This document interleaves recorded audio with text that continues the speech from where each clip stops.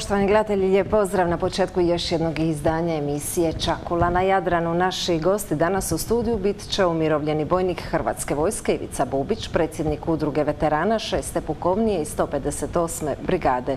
Upoznaće nas programom obilježavanja 21. obljetnice Oluje u Splitu u četvrtak 4. kolovoza i odlasku branitelja sutra dan u Knin.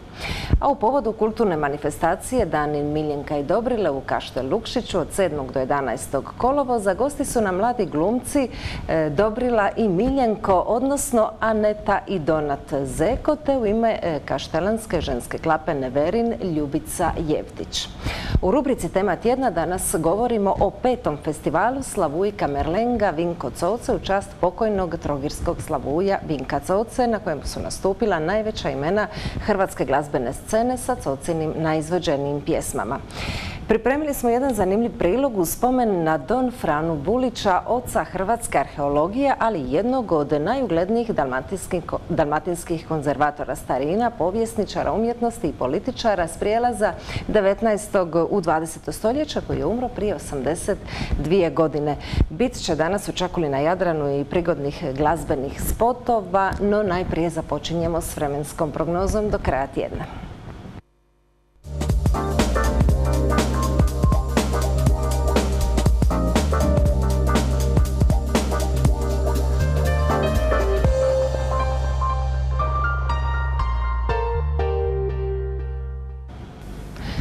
Sutra 3. kolovoza bit će pretežno sunčano, vrlo toplo i vruće. U unutrašnjosti tek rijetko kratkotrajna jutarnja magla. Na Jadranu mjestimice umjerena bura, poslije podne sjeverozapadnjak i zapadnjak. Najviša dnevna temperatura između 26 i 31, na Jadranu do 33 stupnja Celzijeva. I u nastavku tjedna još stabilnije i toplije. Noći će i dalje biti većinom tople, osobito na srednjem i južnom Jadranu, a dani vrući mjestimice i do 35 stupnjeva Celzijevih.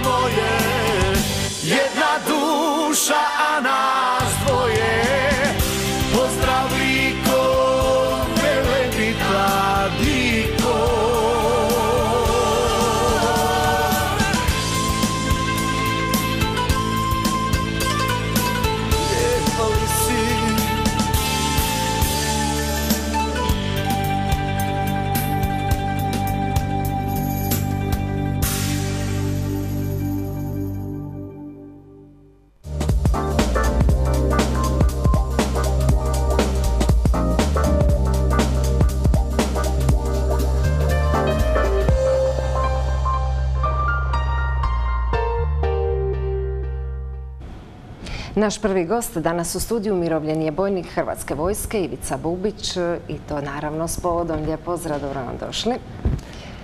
Hvala, lijep pozdrav vama i vašim gledateljima i evo zahvala od branitelja televiziji Jadra. E, Dan pobjede domovinske zahvalnosti, Dan hrvatskih branitelja, slavimo u Hrvatskoj 5. kolovoza kao spomen na pobjedu u domovinskom ratu kad je Hrvatska vojska oslobodila okupirani grad Knin, centar pobune u vojno-radarstvenoj operaciji Oluja. Kako će se ova 21. obljetnica Oluje obilježiti ovdje u Splitu? Pa evo, pozivamo sve građane grada Splita, njihove goste, ali sve naše branitelje, posebno ratnike, na svečanosti i na obilježavanje koje počinje ujutro u 8.30 polaganje vijenaca na groblju Lovrinac za poginule hrvatske branitelje. Također e, polaganje vijenaca u 9.45 ispred Banovine u Parku branitelja. Na večer imamo svetu misu zadušnicu u 19 sati u samostanu e, Gospe od zdravlja.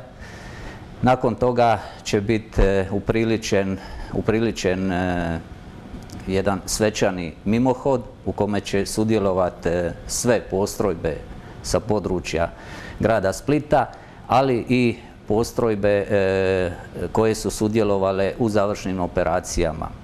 E, početak kulturnog programa ili onog programa koji će uslijediti nakon svečanog mimohoda koji kreće od e, crkve Gospe od zdravlja preko Marmotove ulice do samog središta e, događanja na Rivi gdje će biti upriličen jedan kulturno-umjetnički program i nakon toga u, e, de- u 22.30 slijedi vatromet. Lijepo, je li sve spremno u ovom organizacijskom dijelu? E, Mi smo uvijek spremni. Proslave. Mi smo uvijek spremni kao što smo bili onda kad je trebalo za domovinu, tako smo i sada spremni da evo na taj način e, odamo počast e, svim, prvenstveno svim onima koji su dali svoje živote obranu domovine, ali i da suosjećamo sa obiteljima kojima je to jedan od teških trenutaka ponovo proživljavati sve. E, Središnja proslava kao i svake godine u Kninu. Naravno, tamo odlazite i vi zajedno sa svojim suborcima. no ne direktno odmah u Knin. Ajmo malo to Tako je. podsjetiti, evo za gledatelje koji možda ne znaju. Tako je. E, većina ovaj, pravih ratnika e, prvo odaje počast onima kojih više nema. Znači onim ljudima koji su dali svoje živote na ratištima diljem Republike Hrvatske. Tako i mi već evo 17. godinu e, od završetka Domovinskog rata e, ne, ne 17. ispričavam se, 20. godinu.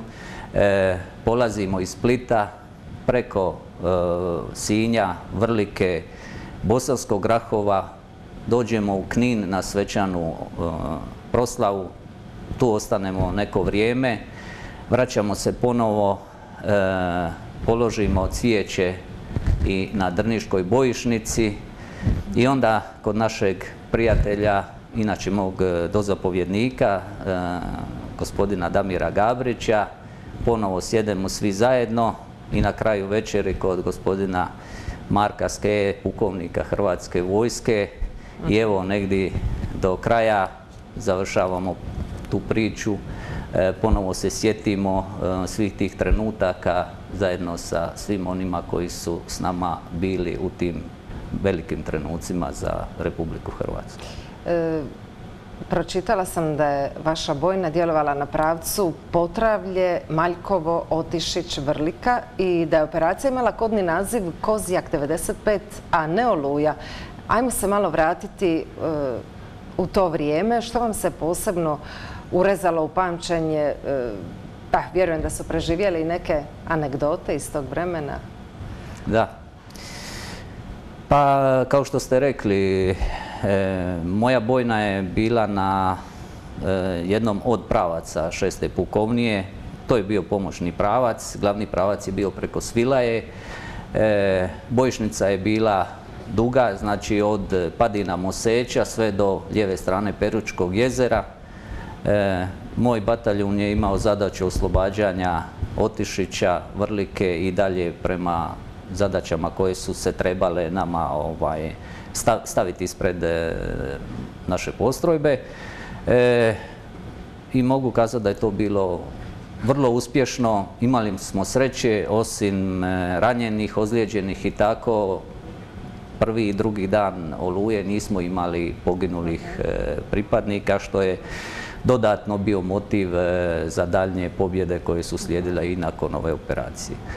A ono što možemo kao anegdotu izdvojiti, e, to je zarobljavanje jedne skupine, jednog voda e, neprijateljskih vojnika koji su sticajem okolnosti ostali bez veze.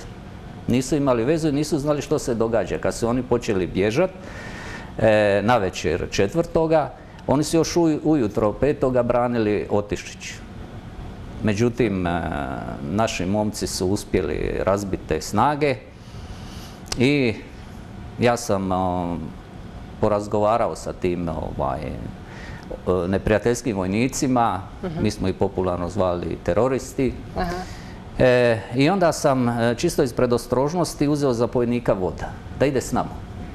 Jel ti ćeš ići s nama jer opasnost je postala od minskih polja i od mogućih iznenađenja koja su bila tada prema Vrlici.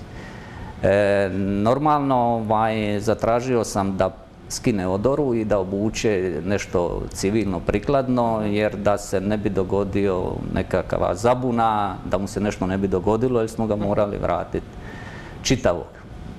I jednostavno on je u strahu bio. Znači nekakvih deseta kilometara e, i sad ulaskom u Vrliku svi slavimo, to se osjećalo, znate, negdje pri kraju samog, e, pri kraju oslobađanja Otišića dobili smo, dobili smo iz nadređenog zapovjedništva poruku da je Knin pao. Da su naše snage ušle u Knin, pripadnici 4. i 7. gardijske brigade i to je bila euforija. Znači, to je bilo pražnjenje nakon pet godina e, domovinskog rata, to se jednostavno osjećalo u zraku i kod svakog. Ulaskom u Vrliku e, moram vam kazati e, da je toliko bilo tog veselja da se i ovaj zarobljeni neprijateljski vojnik e, Ilija počeo veseliti s nama. Vjerujte, u očima se vidjelo veselje.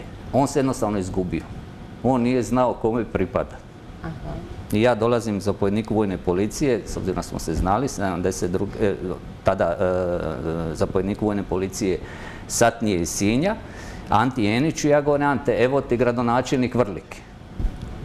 Ante njemu pruža ruku, on staje ukopan, nakon par sekundi ja govorim, ovaj, nije gradonačelnik Vrlike, kazao sam mu ko je, vidjeli ste jednu strašnu tugu na licu toga čovjeka. To su tako neki upečatljivi trenuci koji su ostali u sjećanju. Poslije s tim čovjekom nije... Ostao je živ, ostao je živ. Je bio zarob, e, normalno proslijeđen e, i sve ono što je trebalo. Čujem da je bio osuđen i mislim da je on slobodan. Posljednjih nekoliko godina obljetnica Oluje obilježava se i u Splitskom gradskom kotaru Sučidar i to baš sutra, 3. kolovoza, pa evo i u nekim manjim općinama kao što je Dugi rat ove godine i u Kaštelima, velika e, proslava. Jesu li ovo sve dobri znaci da se ipak pridaje više poštovanja hrvatskim braniteljima? E, pa e, iskreno kažem, od organizatora da. Znači od ljudi koji e, to upriličuju i koji žele da njihovi e, građani e, zajedno sa, hrvatskim ratnicima obilježe taj dan, to je svakako dobro, to je svakako za svaku pohvalu. Posebno na Sučidru gdje sam u zadnje dvije godine nazočio i mogu kazati da mi je zadovoljstvo ponovo biti gore na Sučidru i evo ovom prigodom se i zahvaljujem predsjedniku ovaj, e, mjesnog kotara Sučidar na sjajnoj organizaciji prošlu godinu i ne sumnjamo da će to biti i ovu godinu. Mhm. E, evo upravo malo gledamo kadrove e, prošlogodišnje proslave Oluje, odnosno da, prošlogodišnja proslava Oluje u Kninu. Evo, naravno i vi ste bili tu, možete malo prokomentirati, podsjetiti, evo. Pa tako je, to, to je jedan veličanstven događaj, mislim, za sve ljude Hrvate, e, ali i sve ostale građane koji poštivaju Republiku Hrvatsku i smatraju svojom domovinom. E, ne smijemo se e, obazirati na ono što nam naši istočni susjedi pokušavaju osporiti, e, to je nešto veličanstveno i to je nešto što u povijesti e, hrvatskog naroda mora biti na prvome mjestu. Znači sa tim smo oslobodili cijelu domovinu, pokazali smo e, što je to hrvatski ratnik, jednostavno smo srušili onu više, višegodišnju ili stoljetnu famu o nekakvim srpskim vojnicima, smijehu našoj vojsci, evo vidjeli ste naše momke, jednostavno to je jedna velika pobjeda ne samo Hrvatske vojske, nego hrvatskog naroda. E, kazala sam u uvodu, predsjednik ste udruge veterana 6. pokovnije i 158. brigade. Kako udruga djeluje kad se evo proslavljaju važniji datumi iz novije hrvatske povijesti? Uopće o čemu raspravljate? Ima li više zadovoljstva ili nezadovoljstva u vezi evo i sa statusom branitelja u društvu? Pa ne možemo biti u potpunosti zadovoljni, naročito sa političkim e, strukturama. Neću ih namjerno nazvati elitama jer mi ih do sada nismo imali.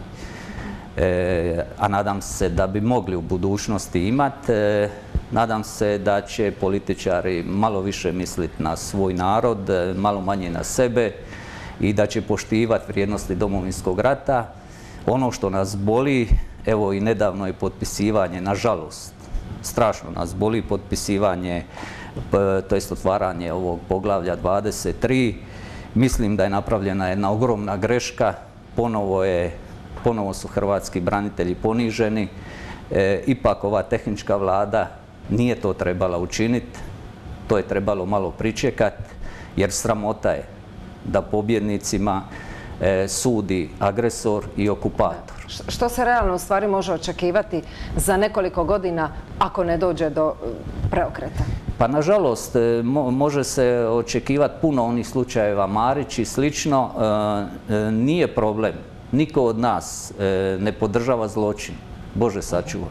Znači svi oni koji su pojedinačno činili zločin, neka odgovaraju, ako jesu. Ali to nikako ne može biti jurisdikcija suda u Srbiji i nikako nekakvi Štrbci ili neki slično ne mogu govoriti što je to napravljeno u Republici Hrvatskoj. Na kraju krajeva i mi imamo sudove i veliki broj branitelja je nažalost i procesuiran jako puno. A kad uzmete e, koliko je bilo tih žrtava, sa druge strane, iako mi tugujemo za svakim civilom, bez obzira da li se radi o, o, o, o civilima strane, srpske da. nacionalnosti ili o Hrvatima, nama je to teško.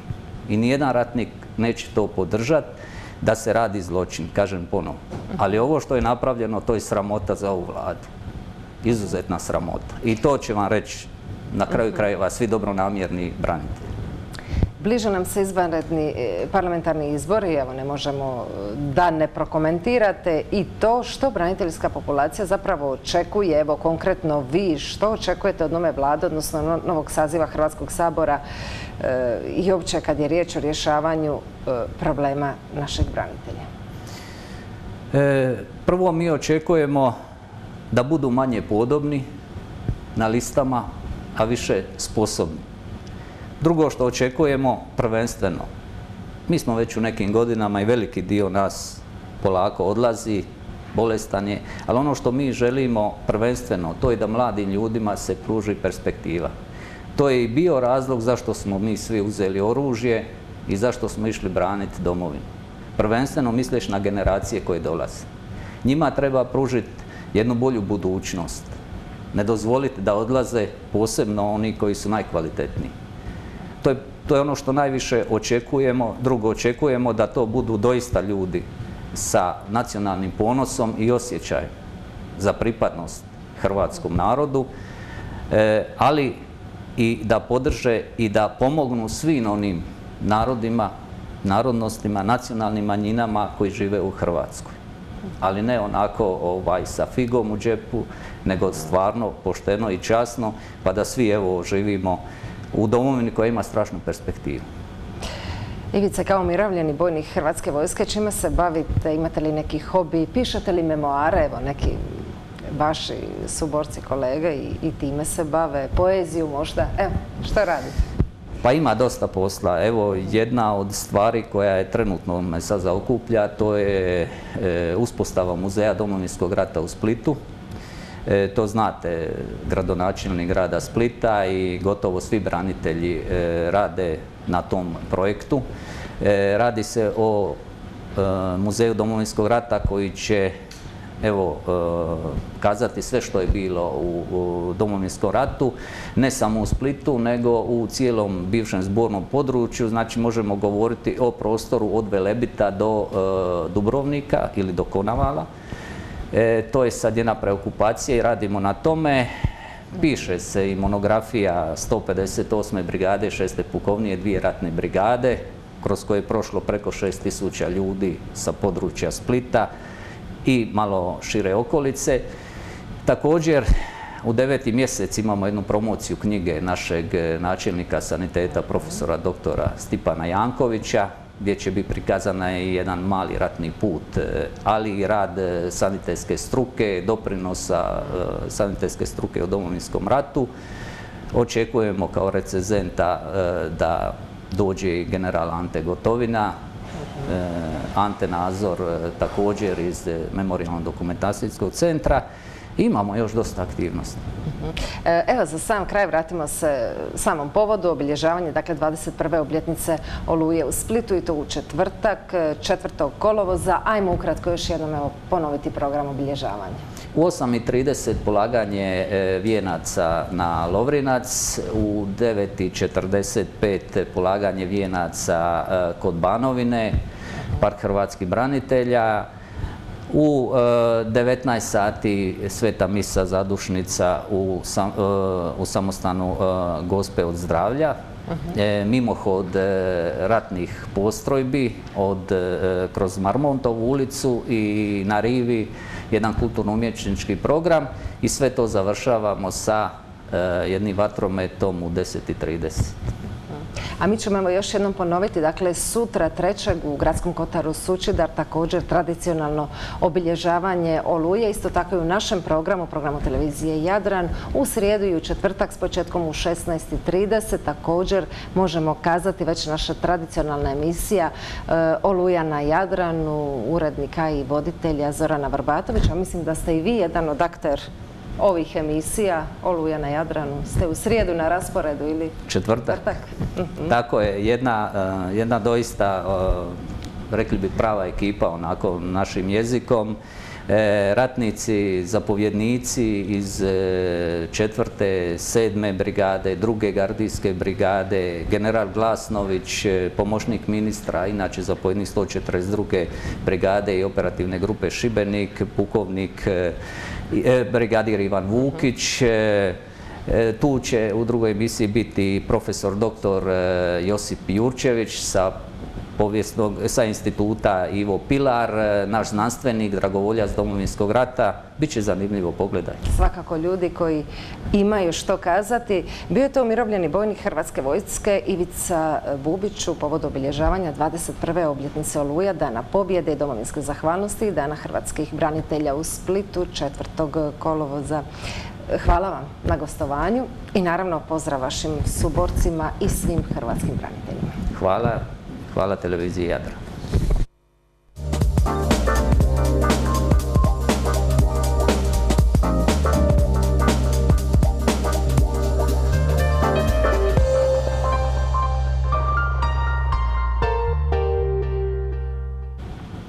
Slijedi naša rubrika Tema tjedna, a to je peti festival Slavujka Merlenga Vinko Coce, održanog u čast pokojnog trogirskog Slavuja Vinka Coce. Nastupila su najveća imena hrvatske glazbene scene sa Cocinim najizvođenijim pjesmama.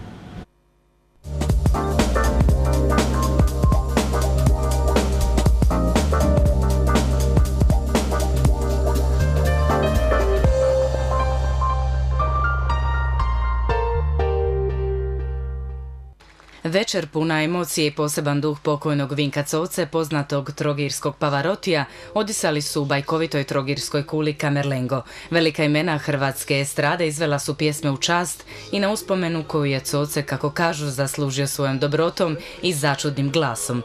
Festival Slavu i Kamerlenga Vinko Covce je projekt grada Trogira, a izvršni voditelj festivala je zamjeni gradonačelnika grada Trogira, Radovan Slades Šilović, koji je već prije samog koncerta kazao kako će ovo biti jedna izuzetna večer, a izgleda kako je dobro predvidio. Koncepcija se festivala već od e, onog humanitarnog koji smo organizirali za Vinka prije tri godine, onda se već znala da će se promijeniti.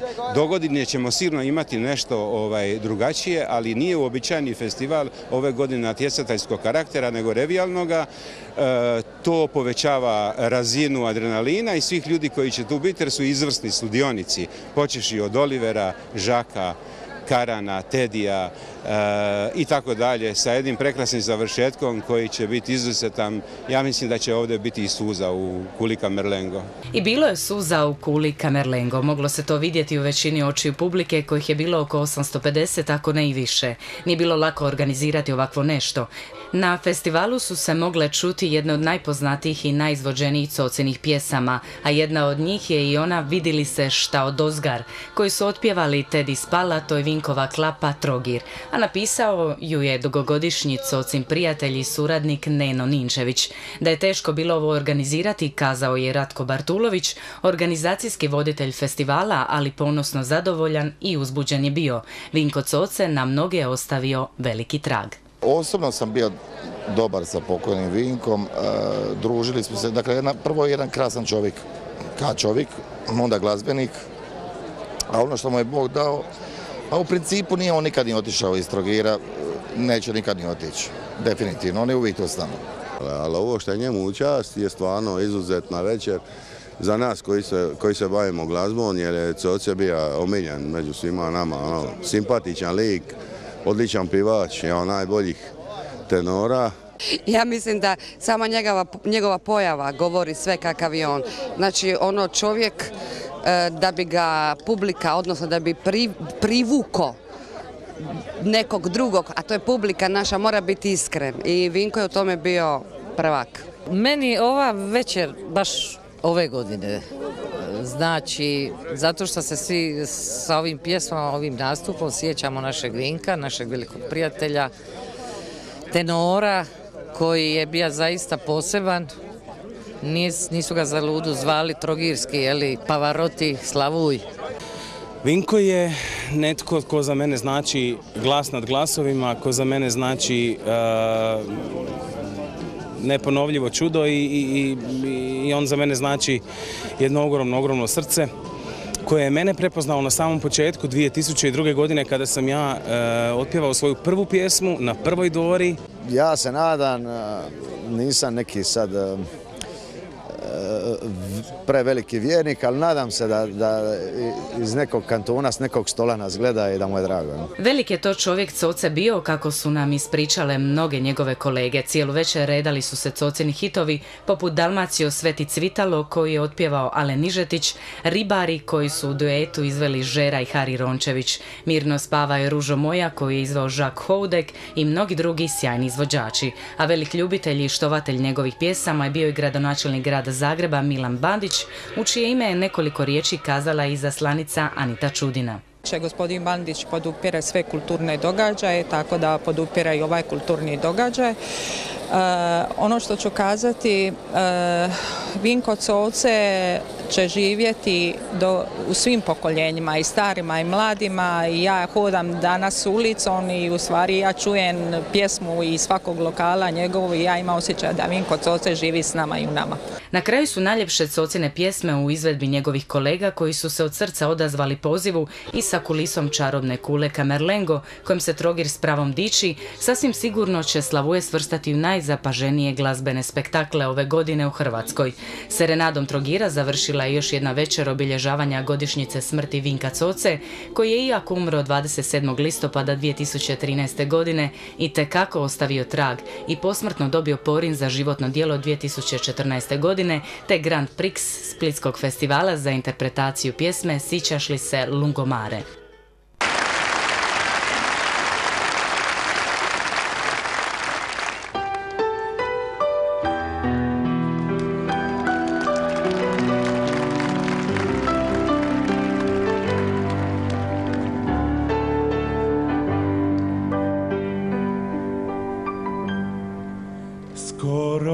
Svaki put kad mi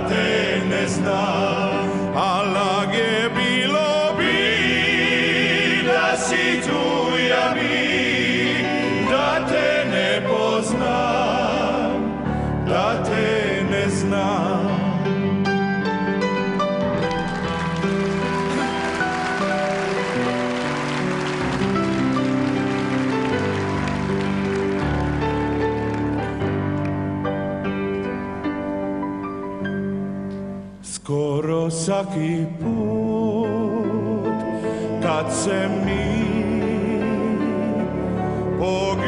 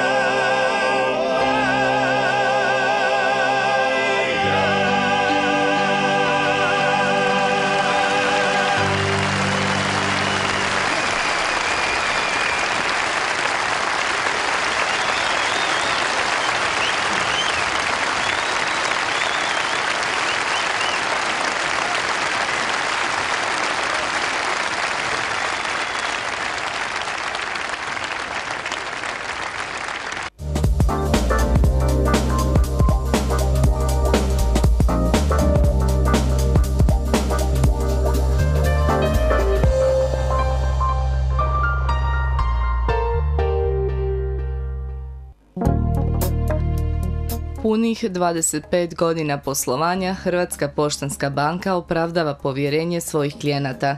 Riječ je o najvećoj banci u našoj zemlji koja je u većinski hrvatskom vlasništvu i koja na najbolji način brine o financijskoj sigurnosti i boljitku svojih klijenata i zajednice. Upravo je rad na stalnom usavršavanju, poklanjanje pažnje detaljima, sofisticirana tehnologija uz jačanje poslovanja s građanima motivirala Hrvatsku poštansku banku da nakon 8 godina poslovanja u samom centru Sinja na trgu Kralja Tomislava otvori novu uređenu poslovnicu. Prvo zato što mislimo da e, Sinj zasluži imati jednu jako lijepu i jako novu poslovnicu. Sa Sinjem radimo i u Sinju radimo već i dugo. E, sada je i grad prešao kod nas, e, Alkarsko društvo i ovu dobru suradnju očekujemo da ćemo još i unaprediti. Otvorenju nove poslovnice nazočili su brojni uvaženi gosti. Dožupan Splitsko-Dalmatinske županije Ante Šošić uz čestitke na rezultatima i novouređenom prostoru naglasio kako se veseli budućim aktivnostima HPB-a i poticajima gospodarstvu i građanima.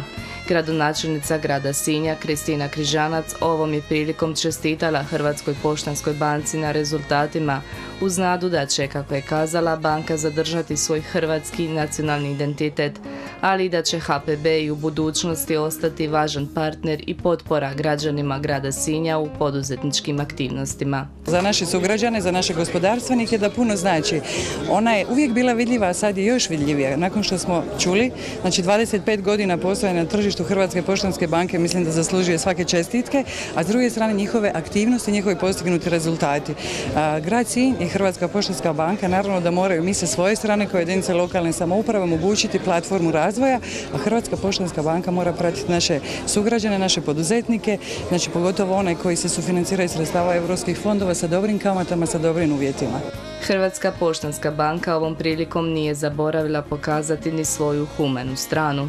Uprava je tako i ove godine donator Sinske alke koja se tradicionalno održava u kolovozu, dok je na svečanom otvorenju voditelj poslovnice Davor Dalbelo uručio HPB-ovu novčanu donaciju udruzi Vučkovića Dječja alka kao poticaj za daljnji rad. U Hrvatskoj poštanskoj banci naglasak se uvijek stavlja na profesionalnost, inovativnost u poslovanju, ali prije svega na korektan i uvažavajući odnos s klijentima. Zadnje što smo napravili je ovaj super smart račun koji omogućava otvaranje računa putem mobitela bez dolaska u banku. To je usluga koju postoji u šest banaka u Europi, u Americi ju nema i danas je zgodno da se s obzirom na puno mladih ljudi koji se bave informatikom i koji osnivaju firme, e, nova tehnologija je dostupnija i jeftinija nego ikad. E, ova poslovnica je uređena u jednom po našem mišljenju izuzetno i funkcionalnom i lijepom stilu kompletan rad hrvatskih dizajnera, hrvatskih proizvođača, e, tako da smo i po proizvodima i po tome kako ih prezentiramo serviramo klijentima napravili ono veliki korak naprijed. Ali najvažnija stvar je otvoren odnos prema klijentu da nema nekih skrivenih caka ili nekih ono e, naknada koje se ne vidi. Znači pošteni fair odnos e, su ključ e, svakog odnosa pa tako i sa bankom. U Sinju je veliki broj građana svoje povjerenje ukazao HPB-u, a cilj je taj broj još povećati. Grad Sinj sa pripadajućim mjesnim odborima broji oko 22 do 25 tisuća stanovnika, a u Poštanskoj banci ima otvorenih 8917 tekućih računa i željanje je popet se minimalno na polovinu broja stanovnika, što smatramo da je u bankarskoj industriji jedan maksimum koji se može postići. Do tog maksimuma želimo i doći. Poslovnica u Sinju za klijente je otvorena od ponedjeljka do petka od 8 do 19 sati, te subotom od 8 do 12. Za sve klijente uređene poslovnice koji predaju zahtjev za nenamjenske kredite do 1. rujna ove godine, banka ne naplaćuje naknadu za obradu zahtjeva.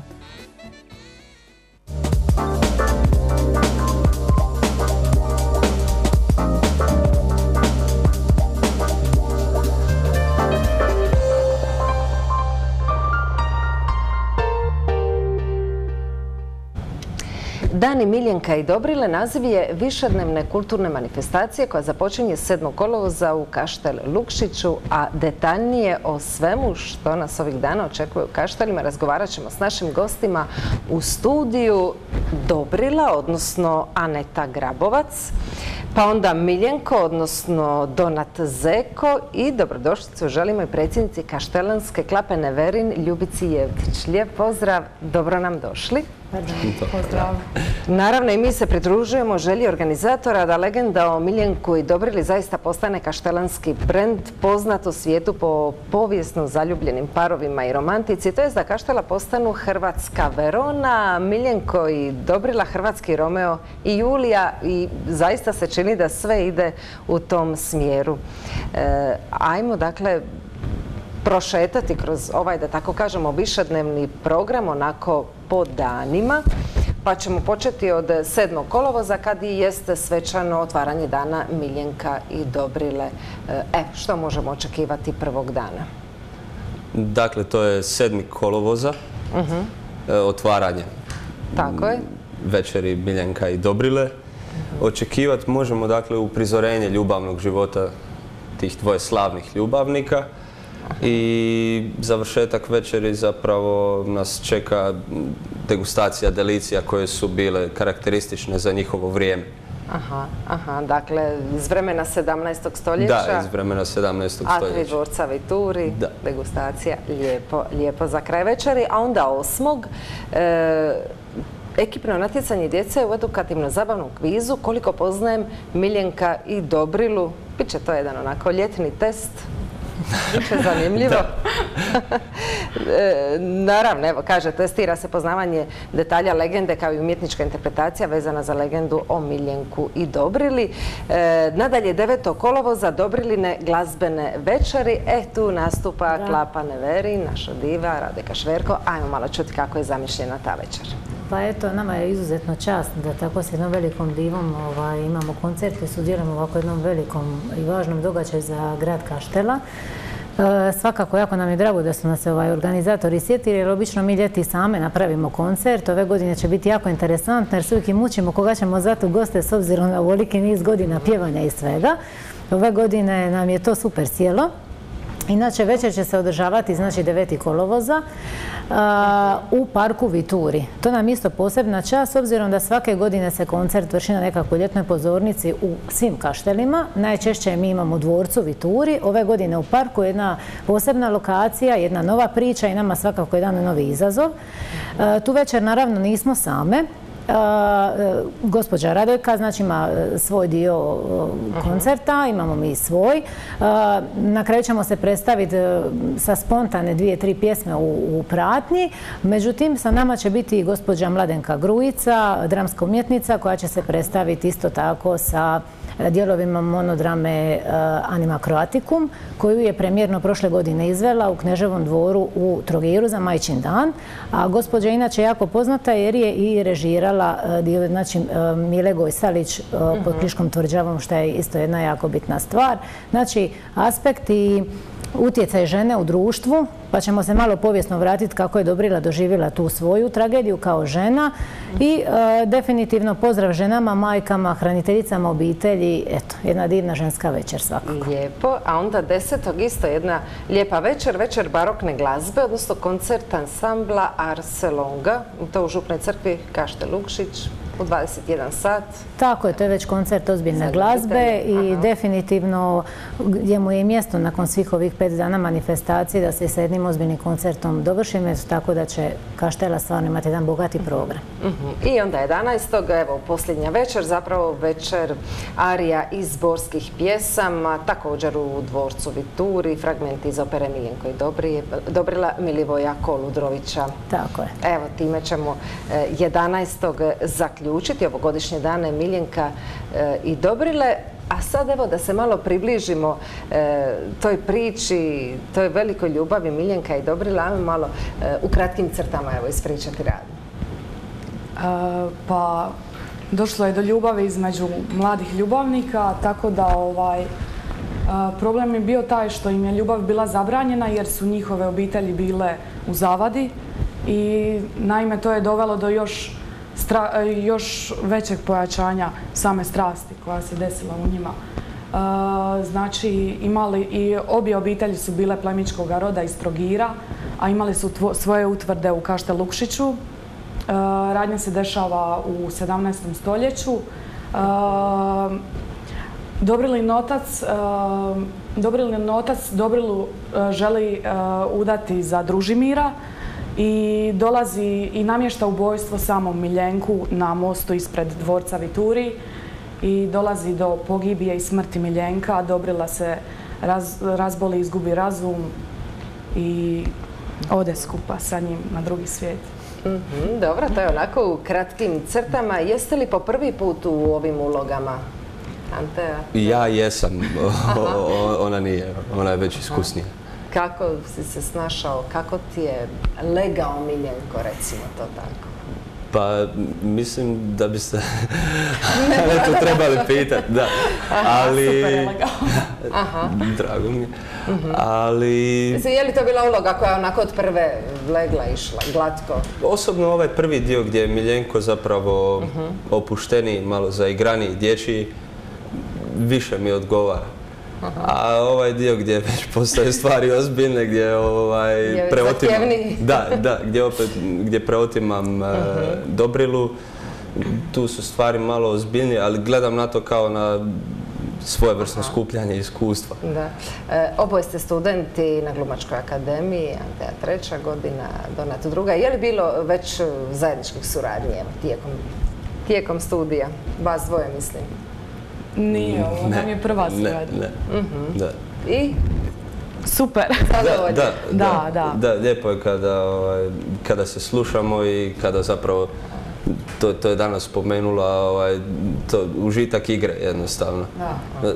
Bilo je poteškoća nekih sitnih, ali to su te čitače probe, i nakon toga se to riješi. Kada se savlada tekst, onda ide to već u... Dobro, pretpostavljam će sad probe ići onako užurbanijim tempom, pa da. Da, svaki dan. Svaki dan po četiri sata.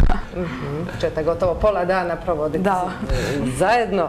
E, uz kultnu klapu Luka, evo kažemo i to, e, Neverin je jedina ženska klapa koja je pet puta pobjedila na Omišu, na čemu vam čestitamo, no nije to sve. Ajmo dalje, vratili ste se sa zlatom iz iz Perasta. Evo ovako bio je jako ovaj, ugodan vikend. E, nismo imali neka velika očekivanja, ali eto dogodila se apsolutna pobjeda u Perastu. Znači prva nagrada žirija i prva nagrada publike. I eto tako smo svoj životopis obogatile sa još dva zlata i sve ukupno 31 nagradu, 12 godina pivanja. Mislim da je to dobro. Čestitamo još jednom. E, Evo, očekava sad zajednički koncert sa Radojkom Šverko, no nije ovo prvi put da Neverinke, kako vas od milja zovemo, nastupaju sa renomiranim pjevačima. Evo da čujemo kakvih je još bilo suradnji. Pa bilo je zanimljivih suradnji, znači uvijek su bili nekakvi klapski koncerti gdje bi gostovale naše poznate zvijezde, imena naše hrvatske glazbene scene, koje bi bile, gdje bi sve klape pivale nekakve zajedničke pjesme. Tako smo imali jednu jako lipu suradnju, to i sa pokojnim Vinko Cocom, kojega eto svi spominjemo. On je bio veliki ljubitelj klapa i klape nikad nije napuštao bez obzira na svoju karijeru. Tako da mislim da se danas i pozamašni broj klapa može pohvaliti sa suradnjom. Mi smo imali tu sreću da nas je vodio na svoj koncert u Sloveniju. Ne sjećam se točno, mi se sad interno zezamo u klapi da je meni krepa softver jer ima puno tih nastupa. Mislim da je to bilo 2008. ili 2009. godine u Mariboru. Eto, tako smo ovaj, imali s njim koncert. 2008. godine smo sa gospođom Meri Cetinić e, bili na Šibenskoj šansoni sa pjesmom Mirisna posteja. Kasnije smo zajedno surađivali jer gospođa Meri, eto, za one ljude koji ne znaju, jedna velika humanitarka, tako da se rado da zove na, bilo za djecu, bilo za bolesne. Tako da smo dosta s njom isto tako surađivale. A 2010. godine smo e, sa Ivanom Kovač nastupali na Šibenskoj šansoni i dobili smo Grand Prix festivala sa Šibenskom Grandecom. Lijepo. E, ajmo ukratko i predstaviti Klapu Neverin, onako jedna osobna iskaznica od kad djelujete, koliko je članica, tko su u stvari članice? Evo, mi smo se osnovali, znači ideja je krenila od studentskih dana, 2003. krajem 2003. godine. Zvanično se vodimo po registraciji 2004. godine. Evo ima, baš kad sam i s njima razgovarala, vrijeme jako brzo letima, deset Znači, nazad dvije godine smo slavili deset godina ovaj, postajanja klape, bio je savršen koncert u Hrvatskom narodnom kazalištu. 12 godina puno smija, puno druženja, puno pisme, puno koncerata, nastupa, svega, da sad nekoga Jeste li uvijek u istom sastavu? Nismo. to je, što ja kažem, ono prokletstvo ženskih klapa, ali kod nas uspješno. Kažemo da je najplodnija dionica prvog alta, tu su se najviše cure mijenjale eh, iz normalno prirodnih razloga, tako da i naša klapa broji puno slatke male dječice pa je sve to skupa jako simpatično, ali kako ja kažem, mi se ne damo i svaka nova cura koja dođe u, klapu, kako mi kažemo, bacimo ju u vatru da jednostavno može se, to podniti, te nastupe, tako da se sastav zbilja mijenja u godinama, ali nekako kostur klape, nazovimo kako su četiri glasa, nas četiri do pet cura je ostalo isto nazad zadnjih, evo, deseta godina. E, možemo li evo između redaka pročitati da je otvoren poziv pa trenutno nije jer nas je devet sa jednom na porodilni, ima nas dosta, ali naravno ovaj, volimo da nam se jave. Dan danas nam ljudi šalju na Facebook isto tako, ovaj, upite, zovu nas na telefon, kad budu otvorena mjesta sjetite nas se i tako. Tako da se nikad ne zna. Mhm. Koliko često se neverinke sastaju, gdje vježbate, gdje Pa minimalno dva puta tjedno, naravno kad su nekakvi veći zaloga i koncerti, onda to zna biti svaki dan ali ovaj, jedna prova je u Splitu, jedna je u Kaštelima, s obzirom da smo pola pola, pola iz Splita, pola iz Kaštela, je tako, eto dogovor. Jedan put tjedno u Split, jedan put u Kaštela i kompromis. kompromis, da. E, vratimo se programu Dana Miljenka i Dobrile. E, evo idemo malo organizatorima, pokroviteljima ove godine i pod visokim pokroviteljstvom predsjednice. Tako je. Tako je, znači e, organizatori ove godine su turistička zajednica grada Kaštela i grad, pokroviteljstvo predsjednice Kolinde Grabar-Kitarović, Županije Splitsko-Dalmatinske i ostalih medija i sponzora sada. Mhm. E, Klapa na Verim pretpostavljamo u planu nastupe do kraja ljeta, odnosno do kraja godine. Evo, možemo li sada nešto najaviti? Tako je, dosta je. E, imamo još jedno natjecanje koje je sad nekako u realizaciji, u fazi realizacije, pa ga ne bi puno ovaj, naglašavala i spominjala. Imat ćemo još nekakve obveze kao nagrađena klapa ove godine i za Omiški festival. Eto, dobili smo Zlatni Leut i drugu nagradu žirija ove godine. Tako da smo u projektu i sa, sa Omiškim festivalom. I klasično imamo svoje, pjevamo cijelu godinu, tako da nama ljeto nije samo udarno, pa onda mi nekako tako raspodijelimo te nastupe. I onda što ja kažem, nećemo se ni okrenuti, počet će pripreme za novogodišnje koncerte, naše tradicionalne i tako. Biva. Da. Dobro, kako će ljeto biti za naše mlade glumce, Aneta? Nakon dana Miljenka i Dobrile, slijedi li odmor ili se sprema Pa slijedi odmor. Jedino što idem u Sarajevo na film festival i to je to. Mhm. Kolega? Pa vjerujem da slijedi odmor s manjim nekim povremenim umaranjem, ali da ništa ne izdržamo. E, kako se vidite evo u budućnosti kao glumci, gdje jesu li to kazališne daske, filmovi, serije? Evo. Pa kazališne daske. Nadam se A da će ovo biti drugo prilika. nije isključeno? Pa nije isključeno, naravno. Ali ovo prvo je prioritet? Da, da. A ovo drugo je uglavnom, većina, većina glumaca to bira radi vlastite egzistencije, radi ničega drugoga. Sapunice, mislim. Dobro, Donat, evo kako je tvoje mišljenje?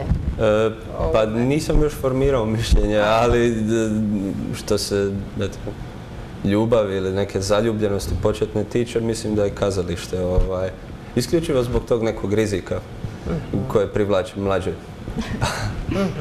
Pa vjerujem da je, da je, da je to moj evo, Da. trenutni izbor.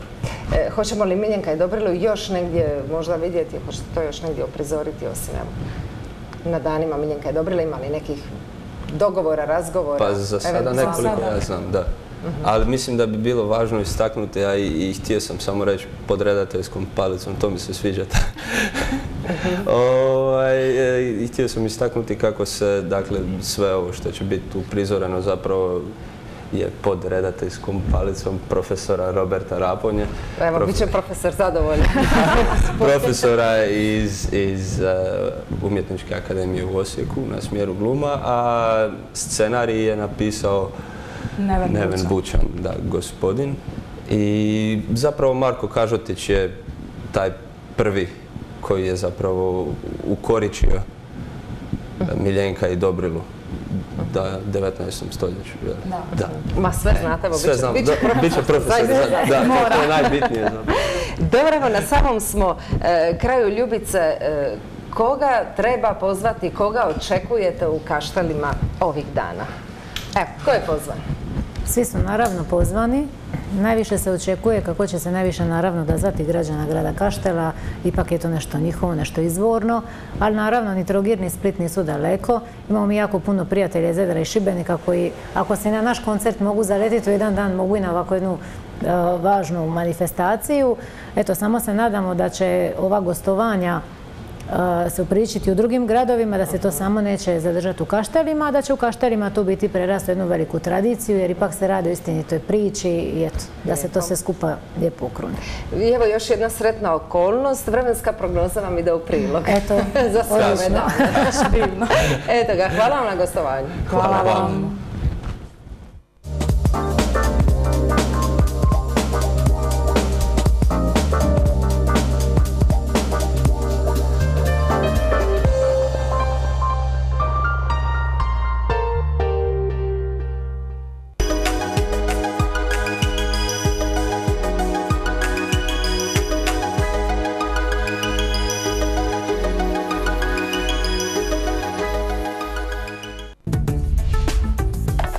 Kao i na terenu, ovdje mogu sve. Ovdje mi se otvaraju nove perspektive. Ovdje želim znanje. Ovdje se osjećam ugodno. Ovdje želim naučiti. Želim znanje, perspektivu, uspjeh. Biram Logos.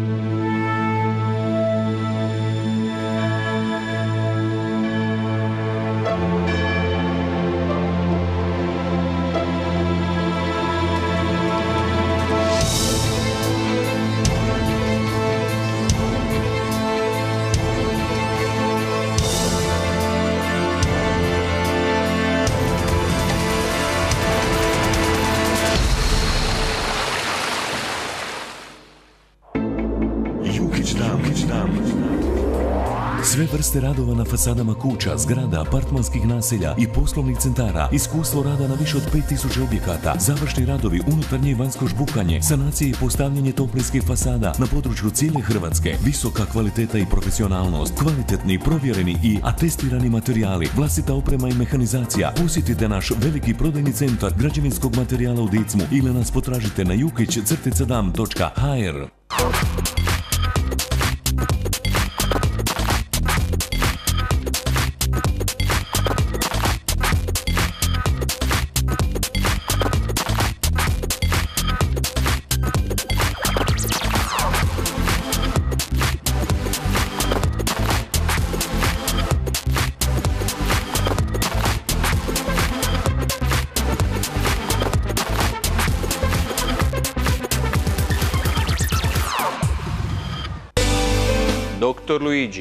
Na zahtjev naših klijenata iz 33 države proizvodimo brojeve 48, 49, 50 za očuvanje vašeg zdravlja.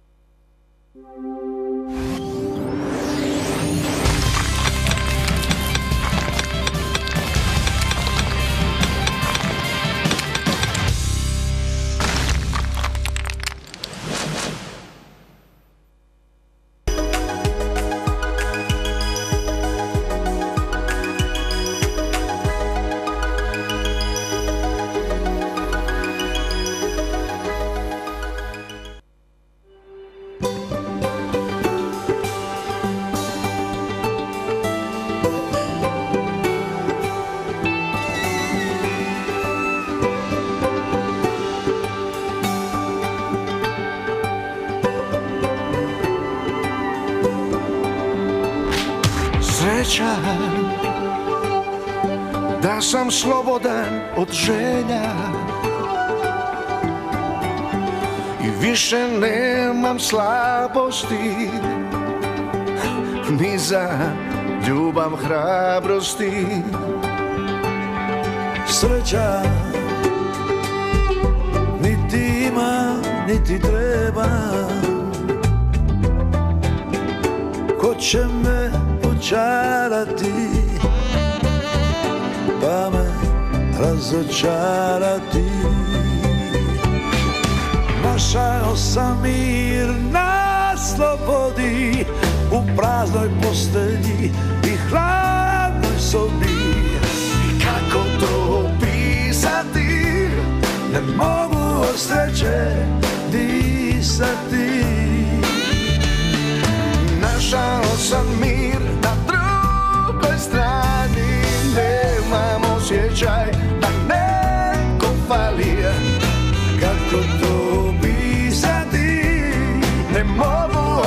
sreće Ne disati. Sad sam slobodan od želja I nema smisla sanjati Na ljude se oslanjati. Sreća Držat će mi leđa. Sad imam život i svoju slobodu I imam druge koje dođu i odu. Našao sam mir na slobodi U tuđoj postelji i tuđoj sobi. Kako to opisati? Ne mogu od sreće disati Našao sam mir na drugoj strani. Nemam osjećaj da netko fali. Kako to opisati? Ne mogu od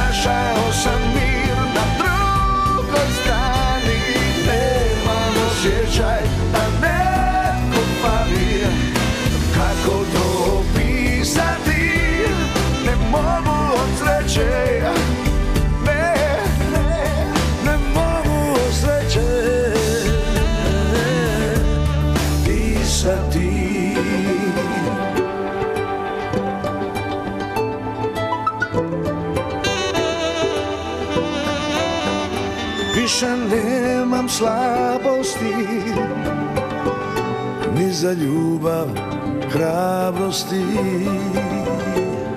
Sreća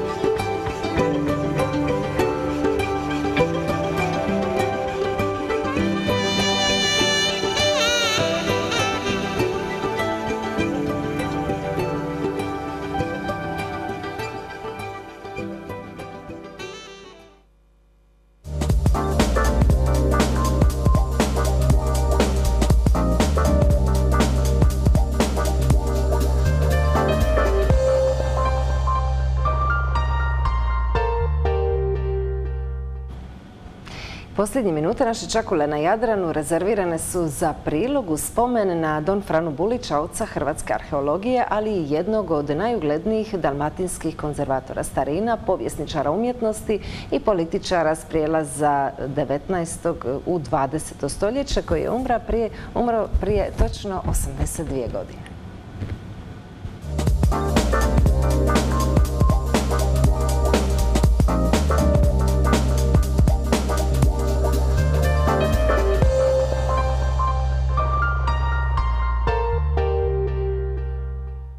Don Frane Bulić, ugledni hrvatski arheolog, povjesničar, konzervator starina i povjesničar umjetnosti, rođen je 4. listopada 1846. godine u Vranjicu kraj Splita.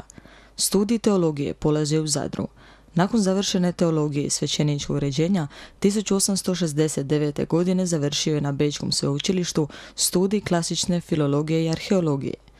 Kao školovani arheolog postaje upraviteljem Arheološkog muzeja u Splitu, a 1878. godine povjerena mu je dužnost konzervatora nadležnog za očuvanje kulturno-povijesnih starina na području cijele Dalmacije. Arheološki muzej u Splitu svake godine obilježava obljetnicu smrti znamenitog hrvatskog arheologa, svećenika, konzervatora i povjesničara.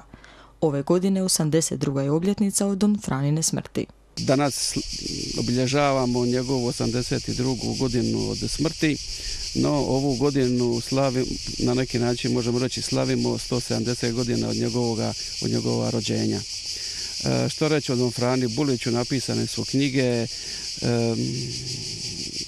brdo stranica je napisano njemu, o važnosti njegovog dijela, o važnosti njegovog lika.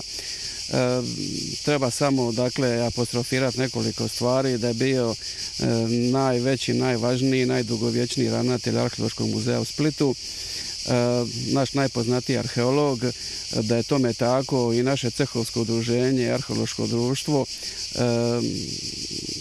nagradu za životno djelo upravo, ta nagrada upravo prozvana po Don Frani Buliću. Dakle, najeminentniji hrvatski arheolozi su dobili tu nagradu dakle, za životno djelo. To dovoljno govori koliko je on za svoga života zadužio hrvatsku i svjetsku arheologiju. E, osim što je bio arheolog, bio je i konzervator, jedno vrijeme se bavio i politikom, dakle jedna kompletna ličnost, bez obzira što je bio svećenik, bio je vrhunski intelektualac, jedna osoba koju se pitalo o svemu i u Vranjicu, i u Solinu, i u Splitu, i u Dalmaciji. Dakle, njegovo mišljenje se više nego ocijenilo. Dakle, jedna osoba koju doista trebamo poštivati e, i, i kojoj doista se moramo pokloniti svaku godinu na današnji dan i, to je najmanje što možemo učiniti, to je da se okupimo ovdje na ovome mjestu i da mu iskažemo počasti i, i položimo mu vijenac.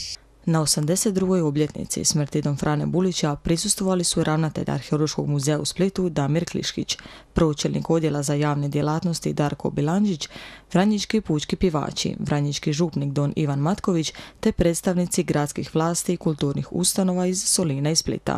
Svetu misu predvodio župnik Župe Sveti Kajo Don Nikola Bodrožić. Don Frane Bulić najveći je Vranjičanin u povijesti Vranjica. Njegovi nalazi od velike su važnosti za identitet hrvatskog naroda. Njegovi nalazi odnešeni su, to ne znam koliko vam je poznato, u Zagreb na sjednicu kada je Kuen Hedervari bio na čelu Sabora Hrvatskoga, kada su Mađaroni tvrdili da su to izmišljotine nekakve priče o hrvatskim kraljevima, su to legende, da to nije stvarnost, istina, Don Frane je doslovno donio ulomak i rekao evo vam produce trepin. To je po meni, evo ja se naježim o tome govorim, toliko važno. Jel? E, njegov ustrajni rad rezultirao je, evo tu su manastirine, dolazio je u sukob sa kaptolom splitskim, jer je tvrdio da je ovo sveti dujam 300 300 305. godine, jer je tu pronađen njegov kod, a splitski kaptol je gradio svoj autoritet na nekom Sanctus Domniusu koji je bio u kontaktu sa Svetim Petrom i Pavlom poslan. E, to ga je koštalo, kaptol ga je malo bio izolirao, međutim Vatikan i Papa je dao njemu za pravo i bio je rehabilitiran. U svom životu bio je veliki borac za poštenje, za pravdu.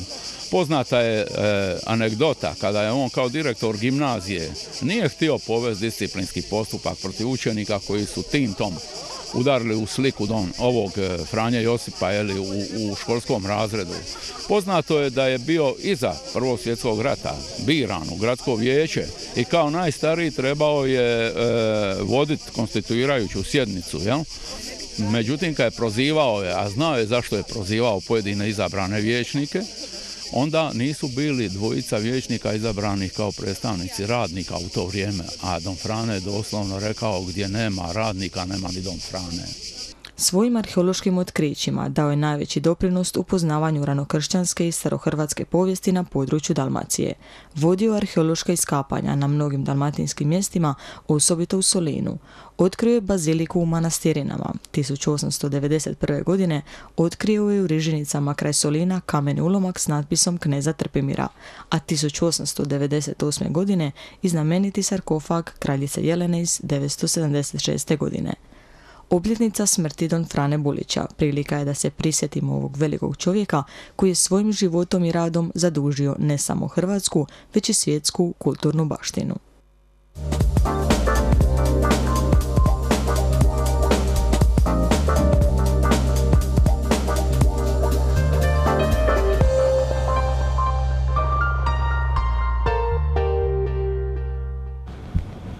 Na kraju smo još jednog izdanja Čakule na Jadranu. Hvala na pozornosti i srdačan pozdrav.